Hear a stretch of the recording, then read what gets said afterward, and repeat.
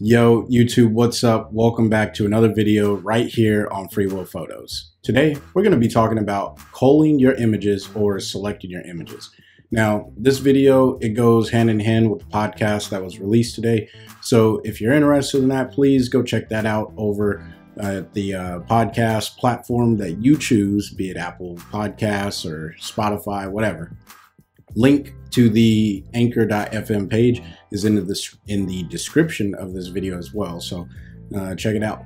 And if you're new here, consider hitting the subscribe button. Here at Free Will Photos, we generate, or I generate, uh, videos use, teaching new photographers how to use software uh, to edit their photos. So that way you can go further and get your creative vision out. So let's dive into the computer and talk about culling. Okay, so here we are in ON1 Photo Raw 2021, and I have a picture, uh, a set of pictures that I took at a place called Creamer's Field. Now, uh, I have not gone through and done anything with this particular set other than I backed up all of my photos. All right, I talk about that in the podcast. So if you want to know more about that, check that out. But today, what I want to show you is kind of the process that I've developed for myself, and hopefully, maybe you guys can develop one for yourself. So, the first thing that you want to do, or the first thing I like to do, is I like to come over to advanced search in ON1. What that helps me with is really honing in on uh, the images because typically I shoot JPEG and RAW so what I like to do is come over here, uh, hit advanced search, click the advanced drop down and then hit file type. And then right here, I would select raw and this gets me just my raw images.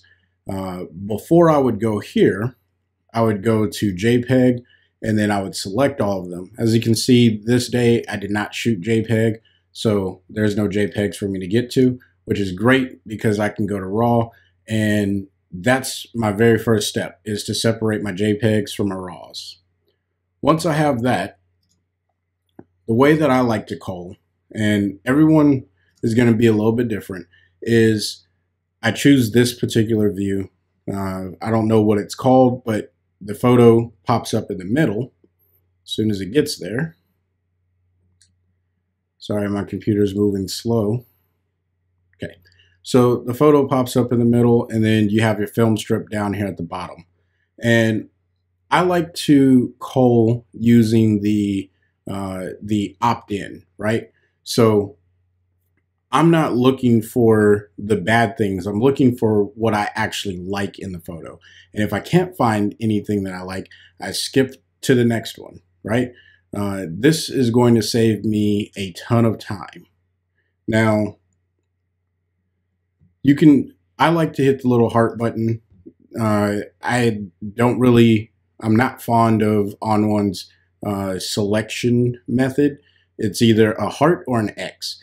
And to me a heart means it's my favorite but that's perfectly fine. This is just how ON1 works right? So uh, i use my keyboard for most of this right? So i use my right arrow. Uh, don't like anything in that photo move over, don't like anything in that photo, move over, don't like anything in that photo, move over, nothing. And I'm using my imagination of what would I do with this photo. So right now it's just a ton of snapshots. I kind of like the way that that bird is, uh, you know, moving through the frame with its wings spread, but that is going to be a hard sell. Uh, that bird landing, I like that. And I'm just hitting the letter P and moving on to the next photo. My job is to find the things that I do like. Okay. So I'm just going to fast forward through the video and get to what I would do as my second step of culling.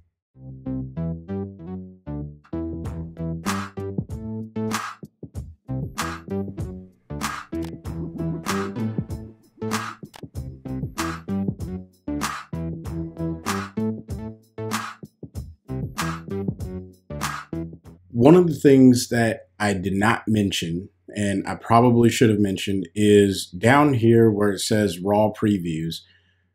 Instead of it being on accurate, you should put it on fast. This is going to pop up that JPEG a lot faster and it's going to give you a quick idea of what the image is going to look like. It's not going to have any of the true tones or colors.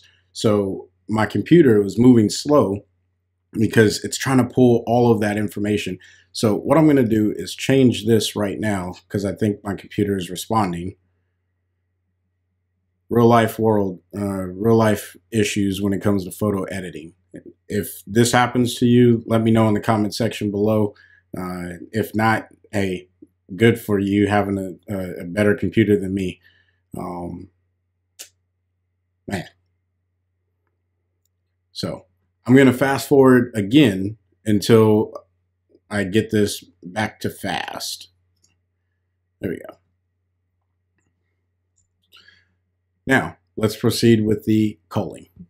Okay, so now that we're done with all of the uh, the initial scrub of culling, I want to see only the photos that I picked so that way I can choose the ones that I really like and then I'll eventually go to an editing uh, with them. So I'm going to hit the little heart over here after I turn on advanced search. I'll hit the heart. And what that's going to do is filter through all of those photos and only choose the ones that I pick. Again, I work on a editing in culling process or selection process. And I recommend you do that as well because it helps with your creativity when it comes down to choosing which photo I want to edit. Now, I'm at 22 total. I can't remember. Let me see how many were in there before. 211. All right. So I went from 211 images to 22 images. Now, in this particular instance, most of those photos were out of focus. So even though I like the composition, I wasn't able to really get the subject uh, in tune the way that I wanted. So probably wasn't going to work out. All right. But now that I have the 22 images, uh, this is where you have to ask the question what is the best package that I can deliver to the client, or what is it that I'm looking to do for myself? Uh, this may be all you need to do. Going from 211 to 22 images, it's like, okay, this is manageable. I can look through this and figure out which ones I want to edit. But let's assume that I'm working for a wildlife magazine, which I'm not because this would be terrible. But what I need to do now is find photos that tell a story about these birds. I don't know what type of birds there are. I know there's some ducks in there. And if you know what these birds are, please drop it in the comment section below. All right. Uh, but I'm going to go ahead and assume that I'm working for, or pretend that I'm working for a wildlife uh, magazine, and they wanted to see some of these images and tell a story for a spread. Uh, so I'm going to say that they're only looking for four images. Now, what I'm going to do is go back into my same view because I want to be able to see the image, uh, but I like these flying images here, right? So I'm going to select both of them. And then I'm going to enter into my compare mode because I want to see these images side by side to determine which one I actually want to throw into the editing. All right. Um, and this is where your particular style will vary. However you choose to do this is going to be 100% up to you. I particularly like the photo on the right, uh, mostly because I get some shadow under the wing and you can tell that the bird is flying and it also looks to be the most in focus. So what I'm going to do is on that particular photo, I'm going to hit one star. One star lets me know that this is a photo that I need to edit. All right. And then I'm going to go to my next set of photos. So now I'm looking at this as okay, what is it that these birds are doing? Uh, I want to have some inclusion of ducks and let them know that there were a series of ducks out there or a group of ducks. So again, I'm going to go with the second photo, one star. I know that I need to edit that because I'm going to have to deliver that to my editor at the magazine. So now I'm going to select the next two images.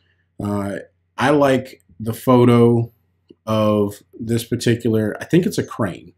I like that the crane is more uh, pronounced and extended in this particular frame. So I'm just going to go ahead and select that one and so forth and so on. Now, I'm not going to go through all of these for the sake of this video because I think you guys understand what it is that I'm trying to do here to get to a final selection of images that I want to edit. Now, again, I only have 22. I really like this photo. If it's in focus, and I don't know if it is. Let me click on it. This is one of those things that you also want to do in culling. And it looks like he's actually in pretty decent focus. So I'm going to go ahead and hit a star on that one. So now I have all of my images that I'm ready to edit. What I do next is I hit the star icon over here and I go back to grid view and now I have four images that I'm going to put into this series for my editor at the magazine. Uh, bottom line, the way that you choose to cull is something that you have to develop for yourself. It gets faster and faster with time. And honestly, I probably would have gone a lot faster had I not been uh, talking about what my process is. Once I have these images and I know that they're ready to go, I do want to mention one last thing, and, and this is not necessarily a part of the culling process. This is just a part of organization for me. What I like to do is select all of the images, and then over here, I'll add in keywords. So for this one, I went to a place called Creamer's Field. And that was in Alaska. If you've never been to Alaska, it's a beautiful, beautiful state. You should take a trip. Uh, I like the winter in Alaska, as ironic as that sounds. But if you go somewhere April, you'll probably uh, have a really nice experience in Alaska because there's no such thing as spring. It's all winter up until May, really. But uh, if you go in April, you'll really enjoy it. Uh, so Creamer's Field, Alaska, and I'm going to put birds, right? And I would probably also uh, keyword this to match the magazine that I'm working for, but that's all I'm going to do for now. And yes, I want to change the metadata for all of these uh, photos. So now whenever I click on them and I need to recall them, I know what I'm doing. This is where you'd probably put the client name and you know that you, and then I would also even add in edit ready, right? You don't have to do that. Um, what just happened? I don't know why there's a comma in the front there. All right. Uh, you don't have to do that, but it's something that I recommend that you do and you get into the habit of because you're going to need to find your photos later and recall them. So adding in the metadata early in your workflow really, really helps out. Okay, so there you have it. That's how I cull my images and, you know, gave you some insight. Choose your method wisely. However, I will suggest that one, you choose a method that you can do on a consistent basis. Two, you choose how you organize your photos up front after you, uh, like immediately after you've backed up your images onto your hard drive how are you going to organize your photos so that way you can select them later? And then three, just make sure that you have a system that makes sense to your workflow and you'll be able to find your images later on down the line and then be able to deliver them to your client or edit them. Uh, don't put too much pressure on yourself for the culling and don't don't spend too much time on your first pass. Uh, my first pass, I'm really just looking for and I suggest you are looking for does this picture have some sort of inspiration from when I originally took it? Again, more information on culling in the podcast. You can find that link in the description box below uh, if that's something that you want to check out. If you found this video helpful, please smash that like button. And if you're new to the uh, channel, go ahead and hit that subscribe button uh, where you know, you'll be a part of the family here at Free Will Photos. And I, I just want to help give back. So until next time, I want you guys to stay inspired and keep creating. Peace.